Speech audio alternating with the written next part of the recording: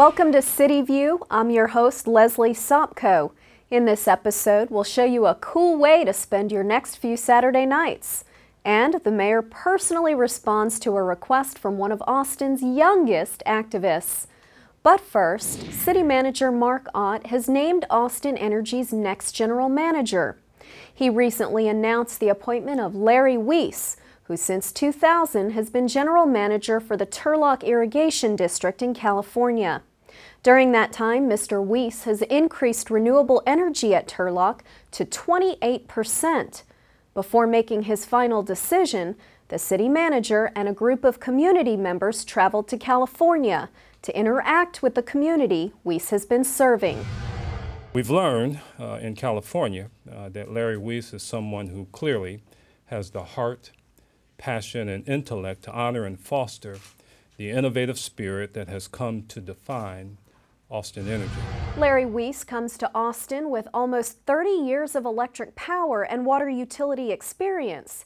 His immediate priorities for Austin Energy, he says, will be to address the utility's prospective $46 million budget deficit for the coming budget year, an upcoming rate case, and implementation of a new generation plan. He assumes his new duties at Austin Energy on September 27th. Conservation is a buzzword at Austin Energy and the Austin Water Utility. Both city departments have active campaigns to reduce energy consumption and lower water use in our community. Austin Mayor Lee Leffingwell recently joined the Austin Water Utility to urge Austinites to take the 3C challenge to reduce daily water usage by 10 percent commit, calculate, and conserve. Public education and public participation will be a vitally important part of our future conservation efforts. So today, I'm calling upon all citizens of Austin to take this 3, 3C pledge to commit, to calculate, and to conserve, and to work together to help conserve and protect our water now and into the future. To help with this effort, Austin Water has launched a new online water use calculator to help residents track their daily usage. To get started, visit ci.austin.tx.us backslash watercon and answer some basic questions about how water is used in your home. And now it's time for a City Council update from Larry Schooler. The Austin Police Department and public safety agencies got a boost from the City Council at their last meeting. Council agreed to apply for federal grant funding for an electronic ticketing project. The money would allow the city to issue paperless tickets using Bluetooth technology, saving officers lots of time by filling in some of the information automatically and eliminating problems with illegible handwriting. Council also decided to join the County Information Resources Agency. The agency helps members share information resources and technologies. In a related move, Council decided to buy software allowing the Austin Regional Intelligence Center to accept criminal justice files from partner agencies in Hays, Travis, and Williamson counties. Trees also got a boost when council members approved a contract that will help protect trees that might otherwise be damaged by construction on the Waller Creek project. That project will include a tunnel diverting flows from Waller Creek and allowing for more development in the area. Council directed the city clerk to prepare for a charter amendment election within the next couple of years. Voters would consider whether the city council would appoint the city attorney. As of now, the city manager makes that appointment. A vote of three-fourths of the council would allow the council to remove the city attorney if the charter amendment passed.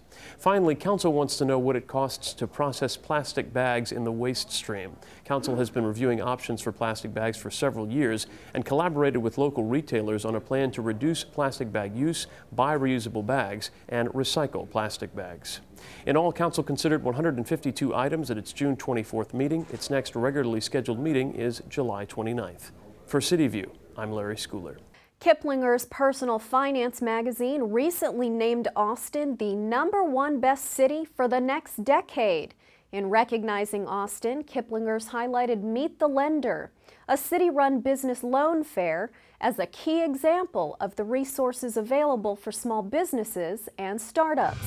Seventh annual Meet the Lender is an opportunity for our local business community to meet local bankers, community lenders, and also other investors looking to lend to the business community. In, our, in the economy the way it is right now, our lenders are still looking to lend to the small business community. Every lender that will attend the event is willing and is eager to visit with every small business in our community. There is no cost to attend, and there's also free parking. And in addition, we will be offering two classes, our BizAid orientation class, which provides uh, the individual that attends the class information about all resources available to them uh, from the Small Business Development Program, and also a Biz Open class, which will outline our City of Austin's permitting and development process. Existing and aspiring entrepreneurs, they will have the opportunity to meet the lenders, to go from booth to booth and share with them their business ideas, and also form critical relationships that they will need in their future. The seventh annual Meet the Lender will be held Thursday, August 5th from 3 to 7 p.m. For more information or to register for the event, call 974 7800 or visit austinsmallbiz.org. And beginning October 1st, all Time Warner cable customers will need digital equipment to view City of Austin Channel 6 and other public, educational, and government access channels. Time Warner recently moved the deadline from August 5th to give customers more time to prepare.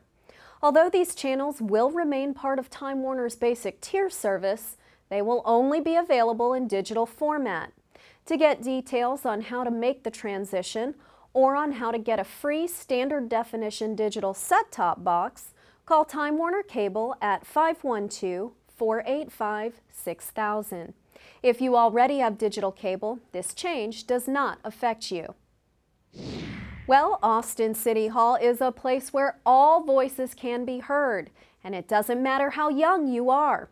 Find out how one child's letter convinced the mayor to organize a DVD donation drive for the Austin Public Library. Well, we're looking for children's DVDs uh, the, the ones that are the most popular that we just can't seem to keep on the shelves. Back in May, I had a group of elementary students touring City Hall, and they usually stop by my office and say hello, and I get to uh, meet them and say a few words to them. As a result of that meeting, I got a, a handwritten letter from one of the young students. I'm, I'm going to read it for you because it's very short. What can I do to get Austin's library some more kids' DVDs? And that's signed your citizen, Samuel. So uh, we responded to his letter. We wrote him a letter back, and we told him that is a great idea, Samuel. So we're going to call upon all the citizens of Austin to donate DVDs to the Austin Public Library so that they can be put out there in the branches and our kids can use them. Eliza has donated Mighty Mouse, Dora the Explorer, which is a fairy tale adventure. Finally, we have Volume 1 of Walt Disney's timeless tales The Prince and the Pauper, Three Little Pigs, The Tortoise and the Hare, and more. They're too young for me, so um, I thought it would be nice to give them to somebody who wanted them. I like it this. Usually, if you come here first, you, you know you get first grabs, but we got here a little late, and uh, yeah, as you can see, when you get here a little late, it's, uh, it's kind of slim pickings. But we tried to find her something that she she enjoys instead of giving it away to someone else. You can kind of just share it with everybody. To get a response from the mayor and to have the mayor, you know, run with it and, and create this really innovative program where, where, you know, we're encouraging people to donate DVDs. I would um, tell them if they would want them and if they did, I would give them to them. And if they didn't, I would just ask some other kids. Parents, when their kids get a little older, they don't want to watch those DVDs anymore, the, you know, the Dora or the whatever that they were into when they were younger. So those DVDs may just be sitting on a shelf somewhere. So if we can get people to bring them into the library. Oh, and go to care. And other children can, can share them and um, it, it's just really a wonderful thing. If you have any new or gently used DVDs that you'd like to donate, you can drop them off at any library location in Austin. If you need some ideas on what to donate, visit the Austin Public Library website for a wish list that covers all age groups. The lives of some of Austin's most influential musicians and promoters were recently celebrated during an induction ceremony into the Austin Music Memorial at the Long Center for the Performing Arts. We were there for the celebration.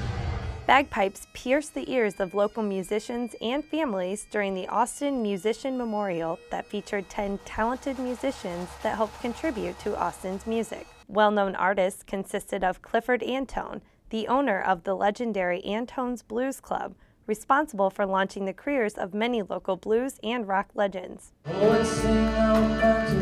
Singer-songwriter that helped shape the reputation of Austin's country music scene, Townes Van Zandt. His songwriting remains internationally revered and his songs have been performed by many music greats. Once a gas station owner, Kenneth Threadgill turned his station into a tavern, which eventually became a hotspot for local musicians. There's so much talent this year this could easily be spread out over two years.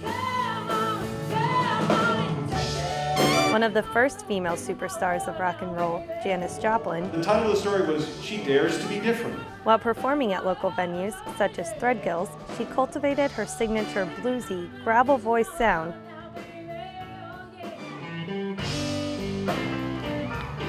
Local legend Stevie Ray Vaughan achieved great success as a virtuoso blues guitarist in the 1980s. He also served as a musical ambassador for Austin, bringing worldwide attention to the city's diverse music scene. I thought it was great. The band was great, a group of amazingly talented musicians, and I thought it was a wonderful group of people to be grouped in with, to be honored. It was a really nice presentation. We appreciate it.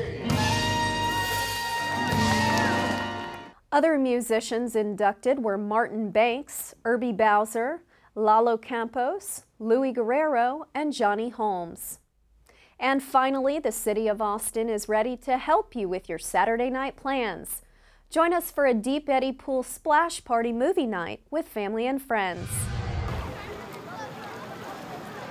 We're here for the Deep Eddy Splash Movie Night. We put this on every Saturday uh, from mid-June through mid-August. The movies begin at dusk. They're family-oriented movies.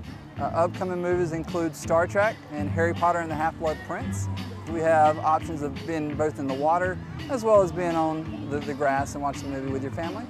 We've been doing this event since the mid-90s. In the 2009 summer, we were averaging seven, 800 people per event uh, with the popular movie um, having up to 1,300.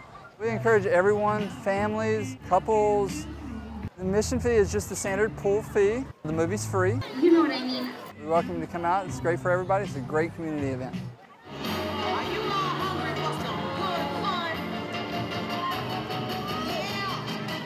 Deep Eddy Pool will be showing family-friendly movies on Saturday nights through August 14th. Movies start at dusk, which is usually around 9 p.m. Your pool entrance fee also covers the movie. And that's all for this edition of City View. I'm your host, Leslie Sopko. Our next episode premieres Friday, August 10th. Thanks for watching.